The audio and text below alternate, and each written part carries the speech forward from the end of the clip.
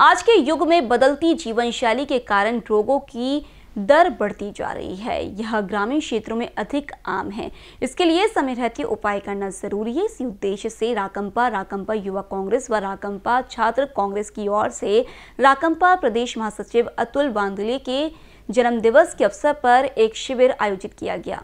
शहर के डॉक्टर बाबा साहेब अंबेडकर चौक पर भव्य स्वास्थ्य शिविर का आयोजन किया गया। इसमें रक्तदान शिविर, बाल स्वास्थ्य शिविर, नेत्र, आँख जाँच शिविर, रक्त परीक्षण शिविर, एचआईवी जाँच, सीबीसी जाँच, मनोवैज्ञानिक परामर्श, सीकल सेल जाँच, बीपी, शुगर जाँच, थायराइड जाँच सहित अन्य स्वास्थ्य शिविर शामिल है। इस जाँच शिविर का एक हज़ार मरीजों ने लाभ लिया।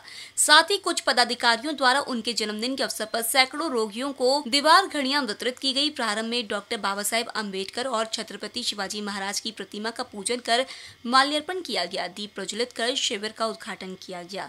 इस शिविर में शिशु रोग विशेषज्ञ डॉक्टर अभिजीत बोरकर, नेत्र रोग विशेषज्ञ doctor Kalode doctor Snehal Chaudhari, M S doctor Prashant sir Jeevan Jyoti, blood bank के डॉक्टर सतीश नक्शी और उप जिला अस्पताल हिंगनघाट आदि के डॉक्टरों की पूरी टीम ने मरीजों की जाँच की। वर्तमान कैंप की सफलता के लिए एनसीपी के पूरे प्रकोष्ठ के पदाधिकारियों व सदस्यों ने जी तोड़ मेहनत की है।